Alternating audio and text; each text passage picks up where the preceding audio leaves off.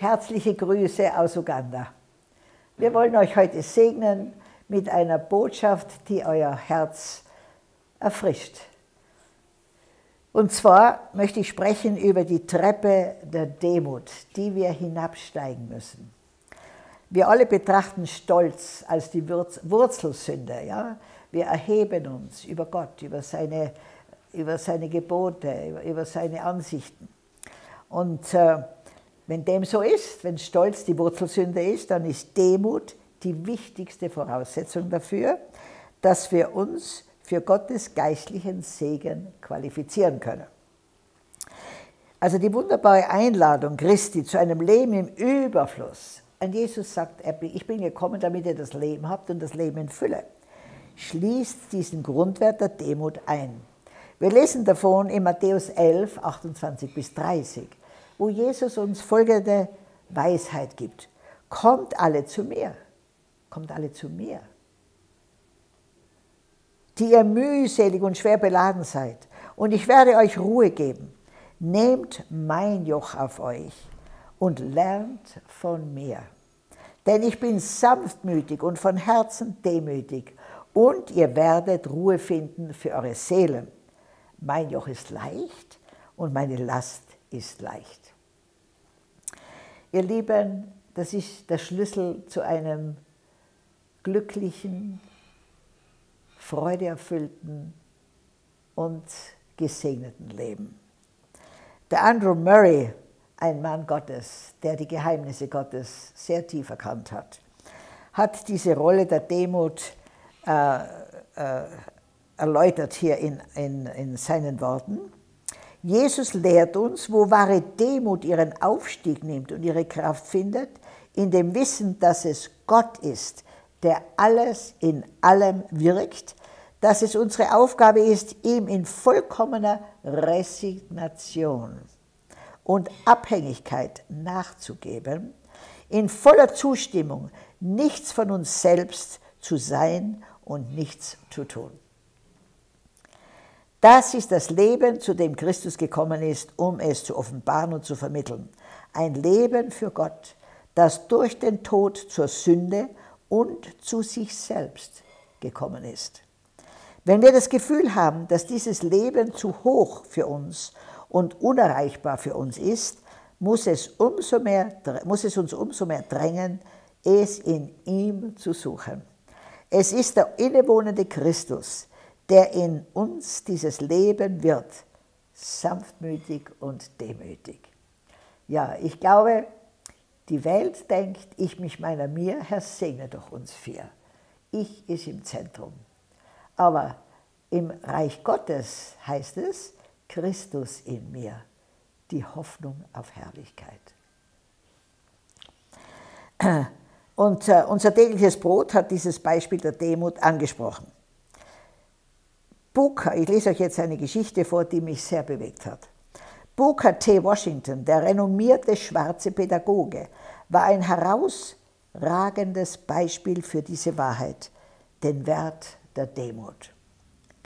Kurz, und übrigens Demut heißt nicht sich selber klein machen, sondern Gott groß machen.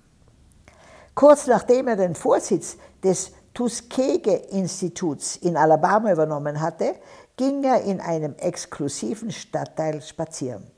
Als er von einer wohlhabenden weißen Frau angehalten wurde, und da sie den berühmten Mr. Washington nicht vom Sehen her kannte, fragte sie ihn, ob er für sie ein paar Dollar mit Holzhacken verdienen wolle.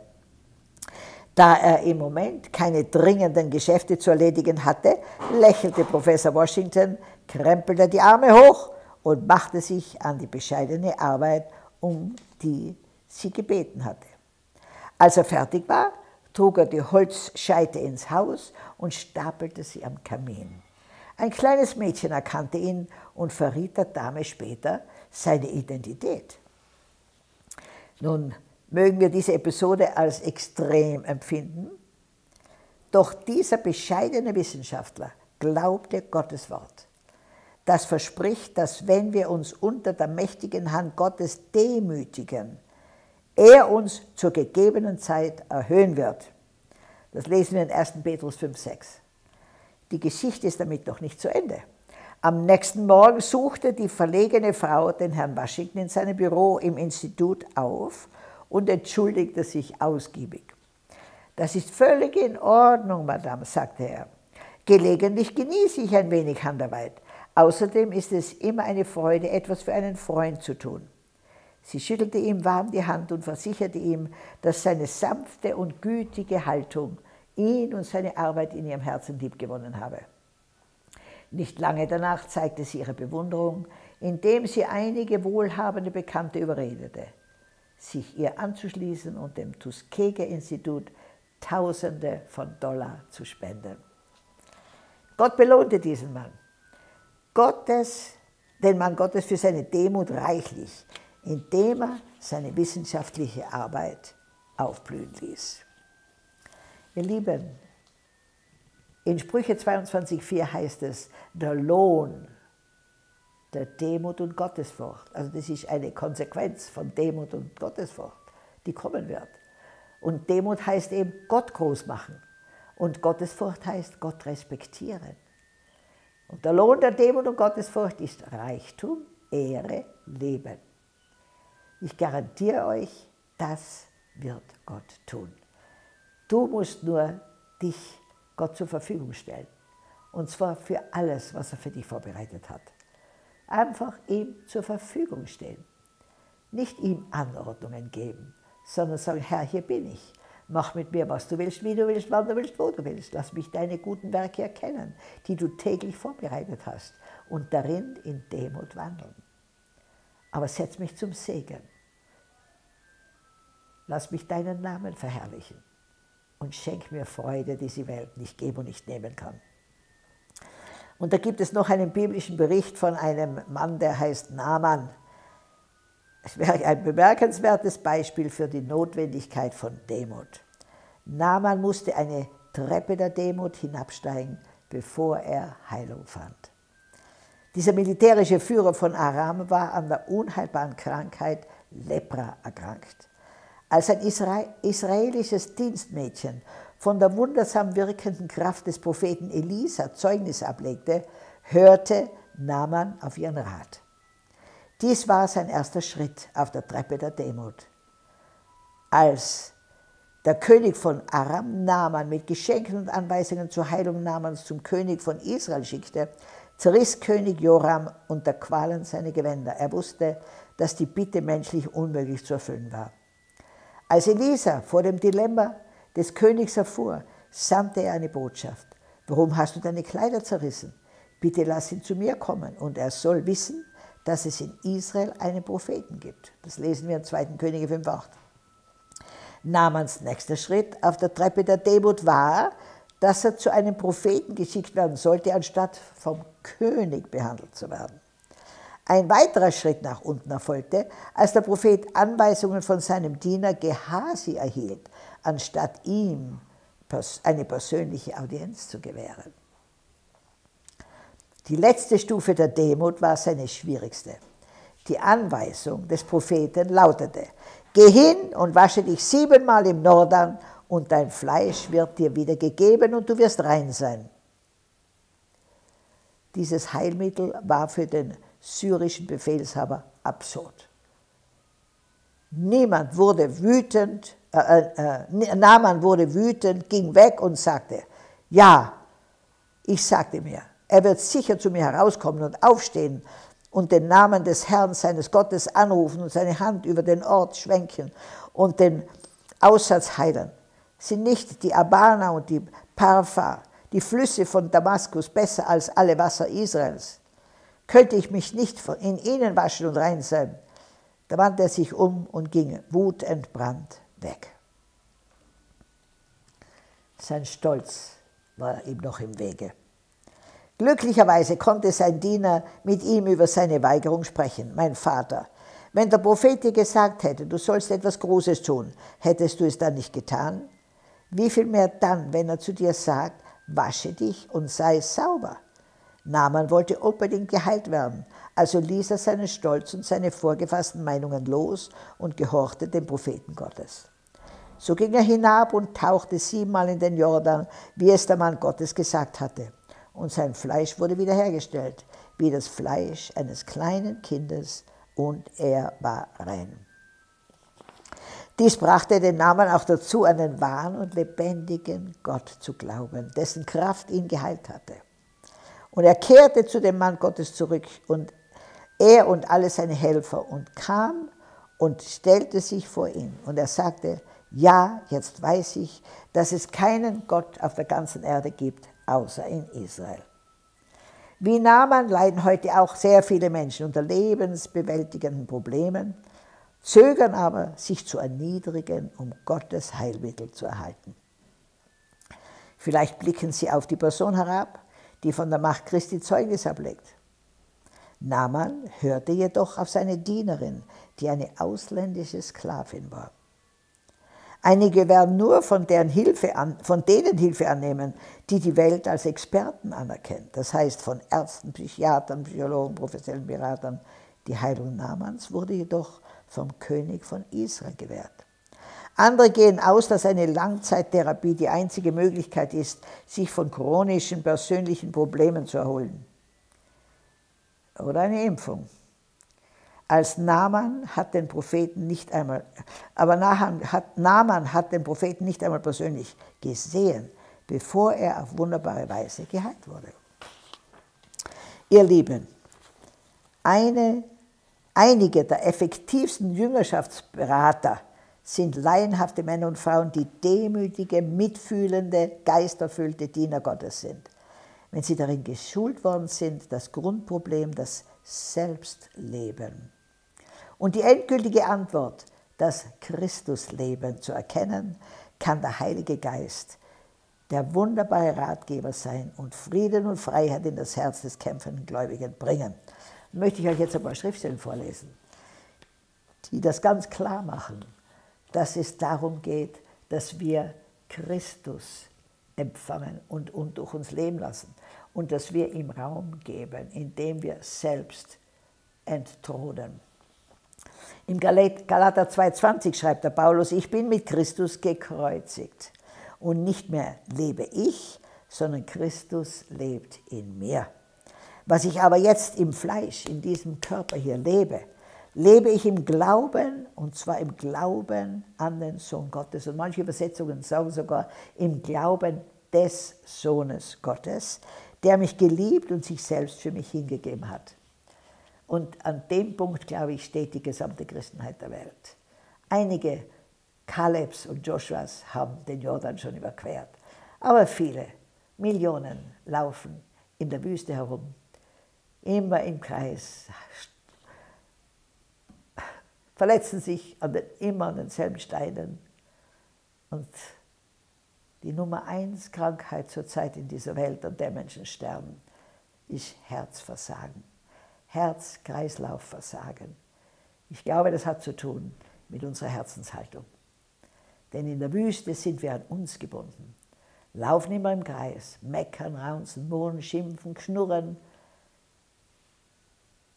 und leben unter einem Geist der Angst. Aber die Sprache Gottes ist Glaube. Die Sprache des Teufels ist Angst. 2. Korinther 3,18. Wir alle aber schauen mit aufgedecktem Angesicht die Herrlichkeit des Herrn an und werden so verwandelt in dasselbe Bild von Herrlichkeit zu Herrlichkeit, wie es dem Herrn, wie es vom Herrn, dem Geist geschieht. Im 2. Korinther 5, 17. Daher, wenn jemand in Christus ist, so ist er eine neue Schöpfung. Das Alte ist vergangen, siehe, Neues ist geworden. Johannes 8, 31 und 32. Jesus sprach nun zu den Juden, die ihm geglaubt hatten, wenn ihr, wenn ihr in meinem Worte bleibt, so seid ihr wahrhaftig mein Jünger und ihr werdet die Wahrheit erkennen und die Wahrheit wird euch frei machen. Amen. Es ist so einfach, aber trotzdem so schwierig, weil wir nicht die Kontrolle loslassen wollen über unser Leben. Wisst ihr, Gott möchte nicht, dass wir alles in unserem Griff bekommen, sondern er will uns in den Griff bekommen. Ja, zum Beispiel, äh, das, die Corrie Boom berichtet über ein Beispiel des indischen Wanderevangelisten Sundar Singh. Er bestand den Test der Lobpreisung. Sie schreibt, als ich Sadhu Sundar Singh in Europa sah, hatte er eine Tournee um die Welt hinter sich. Die Leute fragten ihn, schadet es nicht, dass du so viel Ehre bekommst? Die Antwort des Sadhu lautete, nein, der Esel ging nach Jerusalem und sie legten vor ihm Kleider auf den Boden. Er war nicht stolz. Er wusste, es geschah nicht, um ihn zu ehren, sondern für Jesus, der auf seinem Rücken saß. Wenn Menschen mich ehren, weiß ich, dass nicht ich es bin, sondern der Herr, der die Arbeit tut. Ich kann nur ein volles Amen dazu geben. Sadhus Biografie und sein hingebungsvolles Schreiben bezeugen, dass er einen intimen, persönlichen Weg mit Gott gegangen ist. Und John Flavel sagt, diejenigen, die Gott kennen, werden demütig sein. Und diejenigen, die sich selbst kennen, können nicht stolz sein. Ein wahres Wort. So, also diese wichtigen Lektionen äh, äh werden jetzt im Alten und Neuen Testament wiederholt. Denn so spricht der Hohe und Erhabene, der die Ewigkeit bewohnt, dessen Name heilig ist. Ich wohne in einem hohen und heiligen Ort, mit ihm, der einen zerknirschten und demütigen Geist hat, um den Geist der Demütigen wiederzubeleben und das Herz der Zerknirschten wiederzubeleben. In Jesaja 57, 15. Dann im äh, Jesaja, ja, im 1. Petrus 5,5, seid bekleidet mit Demut. Denn Gott widersteht den Stolzen, aber den Demütigen gibt er Gnade. Und ich sage es euch, wir beten sehr um Gnade für alle Stolzen in unseren Tagen, die ihre ganze Sicherheit in dem System dieser Welt suchen und nicht alleine in Gott. Der Missionar Hudson Taylor der die radikale Kapitulation und die Abhängigkeit von Christus als das ausgetauschte Leben bezeichnete, sollte vor einer großen presbyterianischen Kirche in Melbourne in Australien sprechen. Der Moderator des Gottesdienstes stellte den Missionar in eloquenter und glühender Weise vor.